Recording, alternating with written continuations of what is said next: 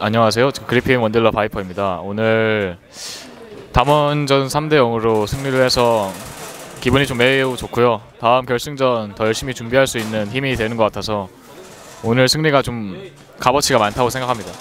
오늘 담원 게이밍이 카밀 갈리오 조합을 선호할 걸 예측을 해서 그의 카운터를 좀 준비하고자 연습을 좀 많이 했던 것 같아요. 그것도 이제 카멜 갈리오의 대항책으로 어떤 챔피언이 좋을까 생각을 해봤는데 세주아니가 옛날에도 써, 쓰였고 되게 좋을 것 같아서 타전 선수가 준비를 했습니다. 어, 재밌긴 하, 좀 재밌긴 해요. 그런 평이 나온 나올 수 있는 배경이 제가 비욘데이를 좀 활용을 많이 했었기 때문이라고 생각을 해서 좀 나쁘지 않다고 생각합니다. 그런 상황 속에서도 분명히 제가 잘 하고 있고 잘 한다면 많은 사람들이 알아봐 줄 거라 생각을 해서 제가 좀 더 분발해야겠다는 생각도 가끔 하고 저는 별로 신경 쓰지 않, 않고 있어요. 이제 좀 합을 맞춰온 지 시간이 많이 지나서 거의 거의 다 맞춰져 가고 있는 것 같아요. 그거에 대해서는 저도 동의를 합니다.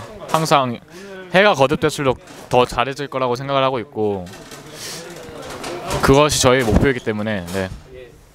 이번 연도도 되게 잘하고 다, 다음에도 잘하고 그 내후년도 더 잘할 수 있게 열심히 하겠습니다. 젠지와의 경기도 라인전에서 주도권을 가져오는 쪽이 유리할 거라고 생각을 해서 그것에 되게 좀 많은 신경을 기울이고 있어요. 어 젠지가 그렇게 따지고 보면 많이 바뀐 건 아니지만 플레이적으로는 되게 많이 변화가 했- 변화가 이루어졌더라고요. 그래서 저희가 잘 한다면 그래도 변화한 젠지라도 저희가 힘으로 이겨 이겨낼 수 있다고 생각합니다. 3대 0으로 예상합니다.